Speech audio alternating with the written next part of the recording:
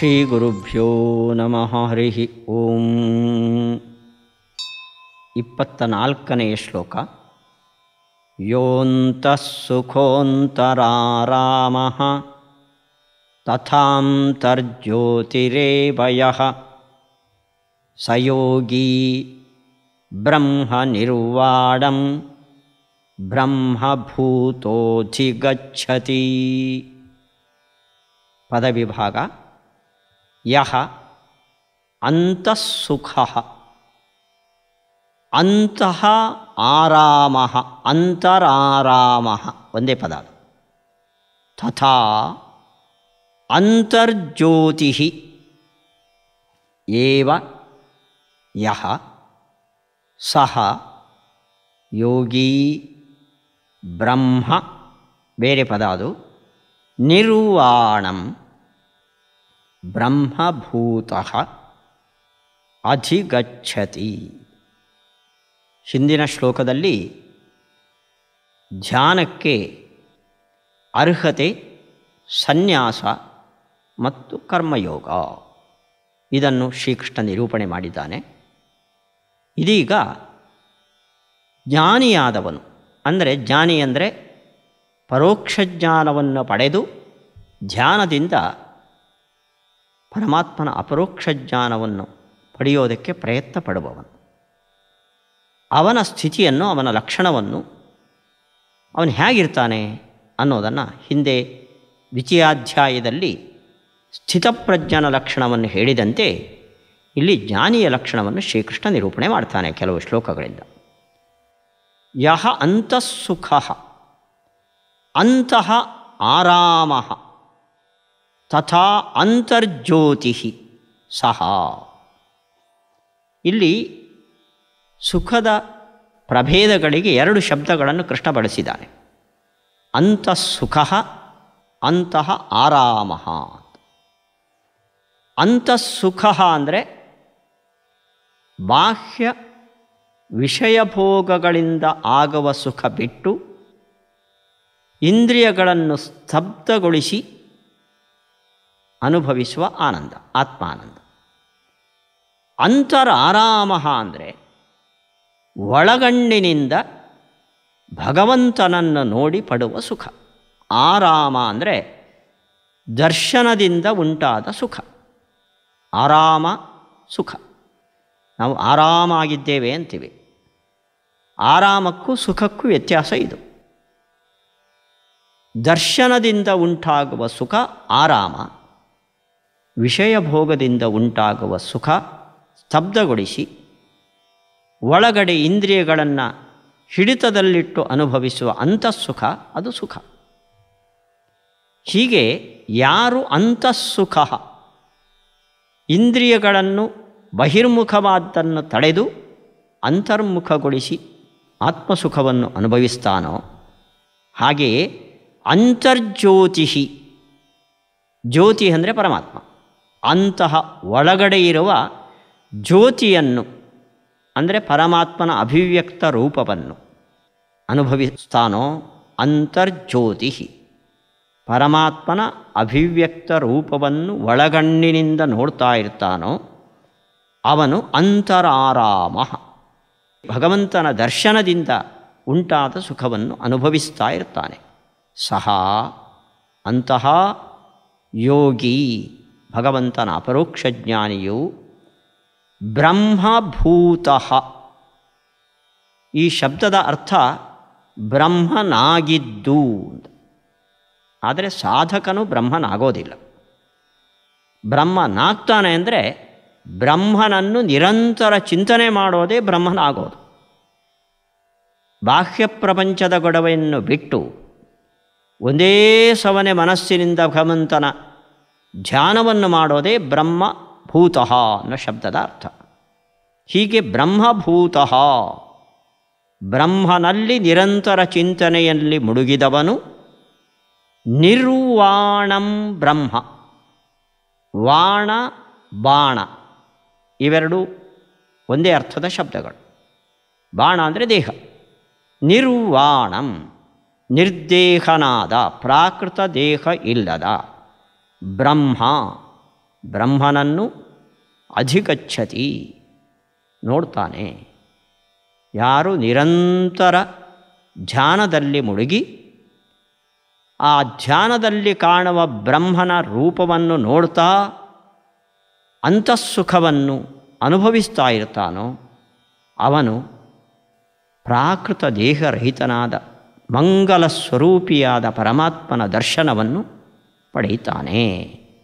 ಹೀಗೆ ಬಾಹ್ಯ ಪ್ರಪಂಚದ ಬಗ್ಗೆ ನಿರಾಸಕ್ತನಾಗಿದ್ದು ಒಳಗಡೆ ದೇವರನ್ನು ನೋಡುತ್ತಾ ಸುಖ ಪಡುವವನು ಅವನು ಜ್ಞಾನಿ ಜ್ಞಾನಿಯ ಒಂದು ಲಕ್ಷಣವನ್ನು ಶ್ರೀಕೃಷ್ಣ ಇಲ್ಲಿ ನಿರೂಪಣೆ ಮಾಡಿದ್ದಾನೆ.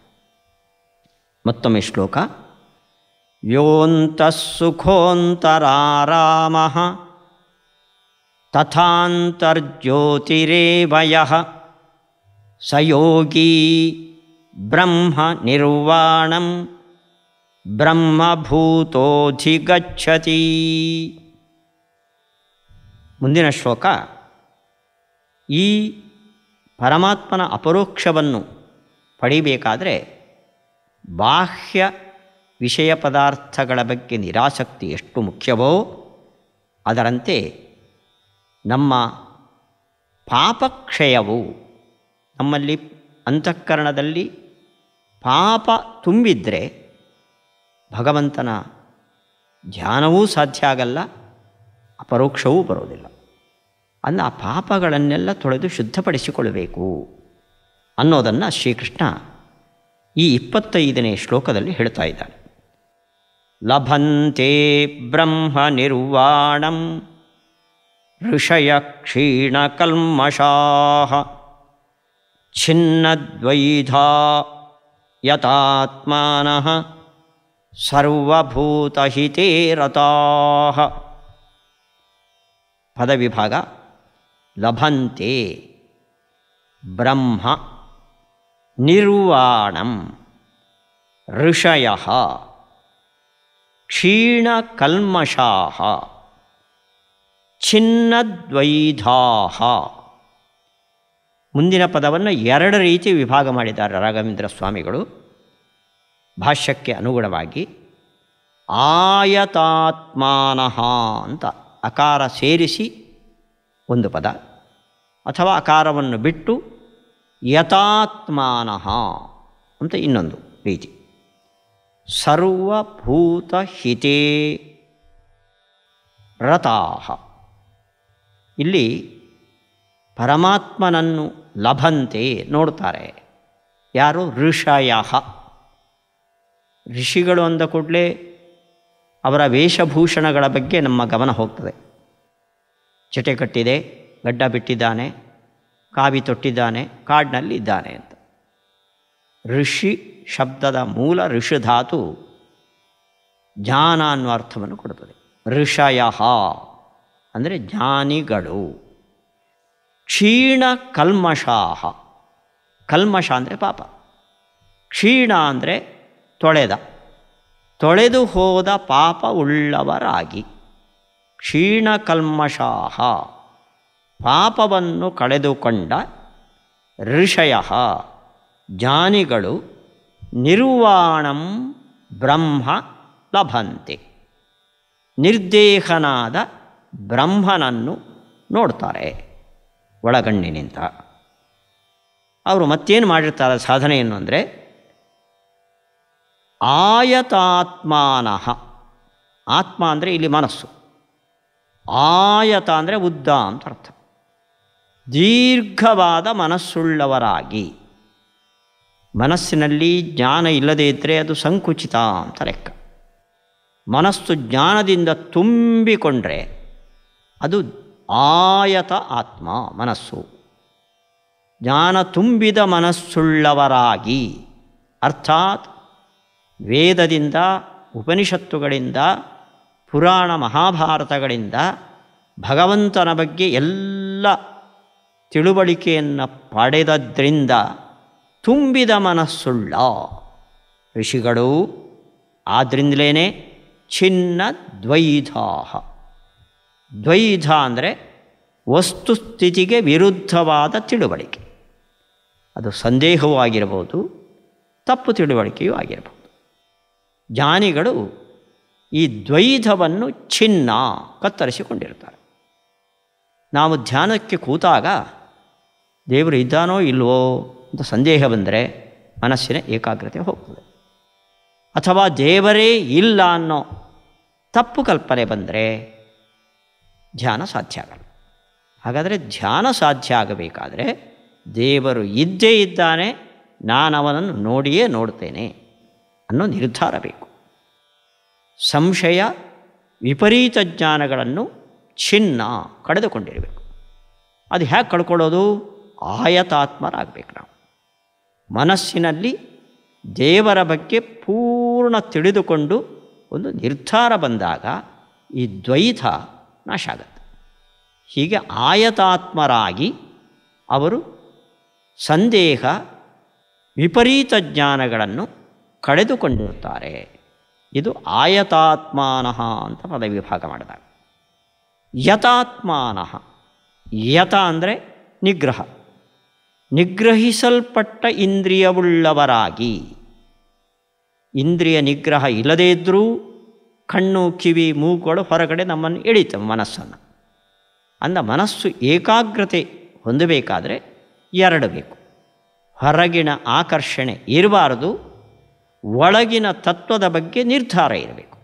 ಹೀಗೆ ಆಯತಾತ್ಮಾನಃ ಅನ್ನೋದು ಚಿನ್ನದ್ವೈಧಾಹ ಅಂತ ಧ್ಯಾನಕ್ಕೆ ಬೇಕಾದ ಒಂದು ನಿರ್ಧಾರವನ್ನು ತಿಳಿಸುವ ಶಬ್ದ.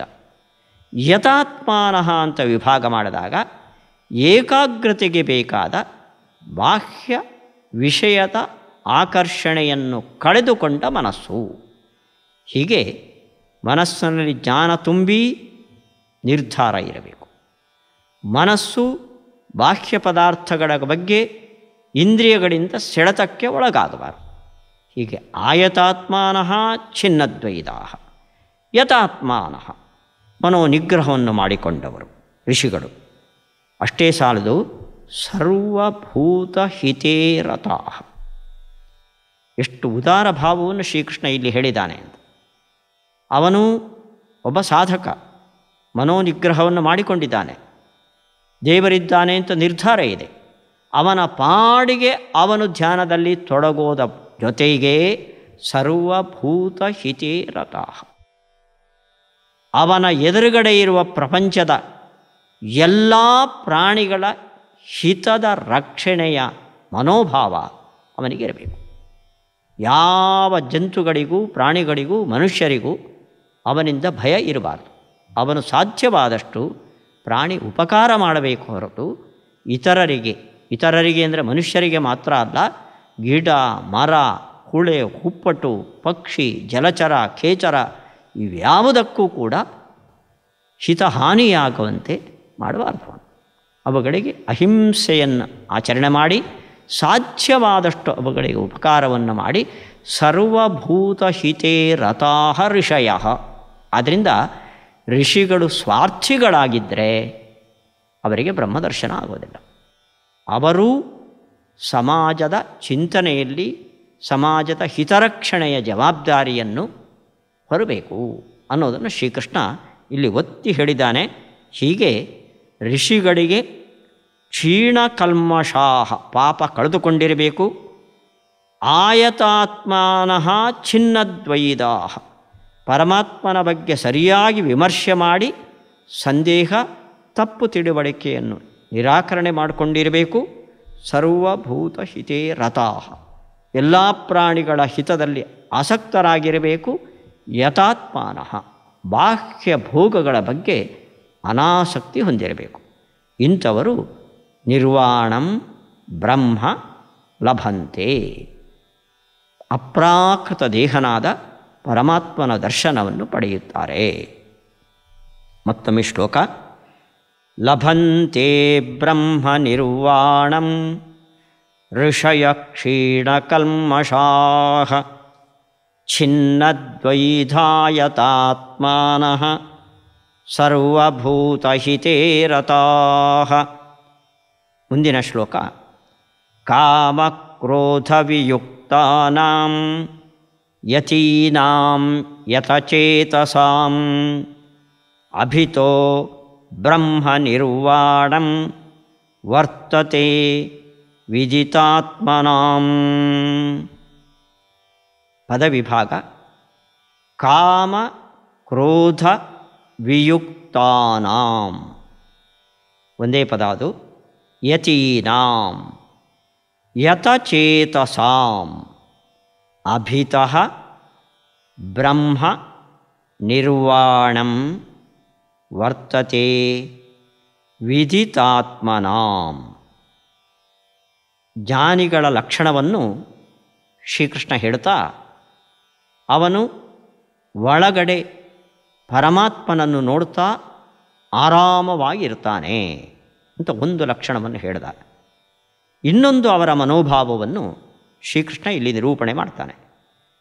ರಾಘವೇಂದ್ರ ಸ್ವಾಮಿಗಳು ಹೇಳ್ತಾರೆ, ನ ಕೇವಲಂ ಅಂತಃಸುಖತ್ವಾದಿಕಮೇವ ಜ್ಞಾನಿ ಲಕ್ಷಣಂ. ಒಳಗಿನ ಸುಖವನ್ನು ಅನುಭವಿಸುತ್ತಾ ಸುಖ ಪಡೋದು ತೃಪ್ತರಾಗಿರೋದು ಜ್ಞಾನಿಗಳ ಲಕ್ಷಣ ಅಷ್ಟೇ ಅಲ್ಲ. ಕಿಂತು ಸರ್ವದೇಶಕಾಲೇಷು ಸುಖೇನ ಬ್ರಹ್ಮ ಲಬ್ಧಿ ಮತ್ವಂ. ಎಲ್ಲಿ ಹೋದರೂ ಯಾವಾಗಲೂ ಪರಮಾತ್ಮ ಅವರ ಜೊತೆಯಲ್ಲಿ ಇದ್ದಾನೆ. ಇದು ಜ್ಞಾನಿಗಳ ಮತ್ತೊಂದು ಲಕ್ಷಣ. ಅವರಿಗಿರುವ ಮತ್ತೊಂದು ಅರ್ಹತೆ. ಅದನ್ನು ಶ್ರೀಕೃಷ್ಣ ಇಲ್ಲಿ ಹೇಳ್ತಾನೆ. ಜ್ಞಾನಿಗಳು ಅಂದರೆ ಯಾರು? ಕಾಮ ಕ್ರೋಧ ವಿಯುಕ್ತಾನಾಂ. ಅವರಿಗೆ ವಿಷಯದ ಕಾಮನೆ ಇರೋದಿಲ್ಲ. ಸಿಟ್ಟು ಇರೋದಿಲ್ಲ. ಪ್ರಸನ್ನ ವದನರಾಗಿರ್ತಾರೆ. ಹೀಗೆ ಕಾಮದಿಂದ ಮುದುಡಿದ ಮುಖ, ಅಂದರೆ ನಿರಾಶೆಯ ಮುಖ, ಕ್ರೋಧದಿಂದ ಕೆಂಪೇರಿದ ಮುಖ ಅವರಲ್ಲಿ ಇರೋದಿಲ್ಲ. ಕಾಮ ಕ್ರೋಧ ವಿಯುಕ್ತಾನಾಂ. ಯತೀನಾಂ. ಯತ್, ಇಲ್ಲೆಲ್ಲ ಯತಿ ಶಬ್ದ ಬರ್ತದೆ. ಯತಿ ಅನ್ನೋದಕ್ಕೆ ಸನ್ಯಾಸಿಗಳು ಅಂತ ನಾವು ತಿಳ್ಕೊಳ್ಳಿದ್ದು ಪೀಠಾಧಿಪತಿಗಳು, ಯತಿಗಳು ಅಂತ. ಯತಿ ಅಂದರೆ ಯತಿ ಪ್ರಯತ್ನೆ. ಪ್ರಯತ್ನಶೀಲರಾದ. ಕಾಮಕ್ರೋಧರಹಿತರಾದ. ಯತೀನಾಂ ಪ್ರಯತ್ನಶೀಲರಾದ. ಯತ ಚೇತಸಾಂ. ಚೇತ ಅಂದರೆ ಮನಸ್ಸು. ಯತ ಅಂದರೆ ನಿಗ್ರಹಿತ ನಿಗ್ರಹಿಸಲ್ಪಟ್ಟ ಮನಸ್ಸುಳ್ಳ ಬಾಹ್ಯದ ಆಕರ್ಷಣೆಯನ್ನು ಕಳೆದುಕೊಂಡವರವರು.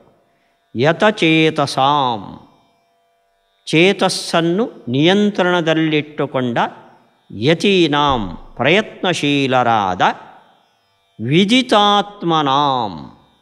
ವಿಜಿತಾತ್ಮನಾಂ ಅಂದರೆ ವಿದ್ವತ್ಪೂರ್ಣರಾದ. ಏನು ವಿದ್ವತ್ಪೂರ್ಣರಾಗೋದು? ನಮಗೆ ರಕ್ಷಕನಾಗಿ ಪರಮಾತ್ಮ ಇದ್ದಾನೆ ಅನ್ನೋ ಭರವಸೆಯನ್ನು ಇಟ್ಟುಕೊಂಡಿರುವ.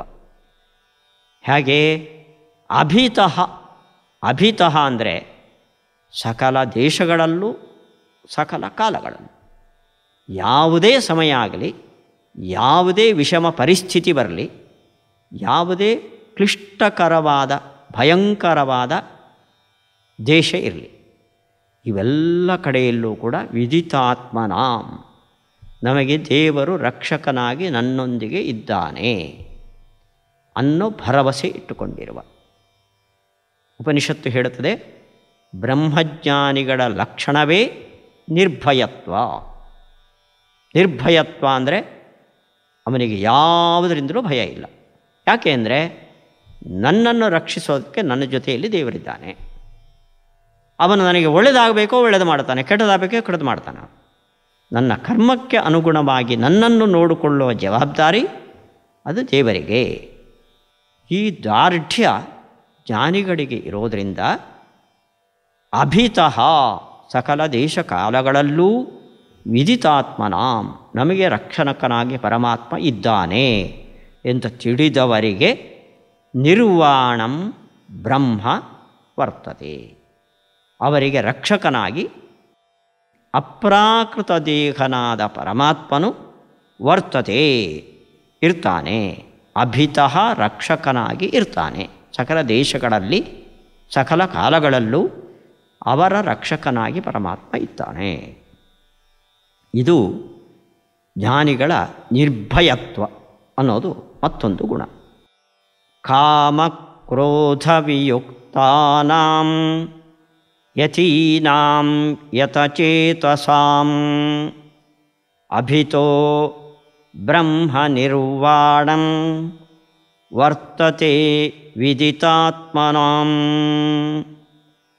ಮುಂದೆ ಧ್ಯಾನ ಮಾಡುವ ಕ್ರಮವನ್ನು ಶ್ರೀಕೃಷ್ಣ ಮುಂದಿನ ಮೂರು ಶ್ಲೋಕಗಳಲ್ಲಿ ನಿರೂಪಣೆ ಮಾಡಿ ಆರನೇ ಅಧ್ಯಾಯಕ್ಕೆ ಪೀಠಿಕಾ ರೂಪವಾಗಿ ಮೂರು ಶ್ಲೋಕಗಳನ್ನು ಮೀಸಲಾಗಿಟ್ಟಿದ್ದಾನೆ. ಆರನೇ ಅಧ್ಯಾಯ ಧ್ಯಾನ ಯೋಗವನ್ನು ಹೇಳುವ ಅಧ್ಯಾಯ.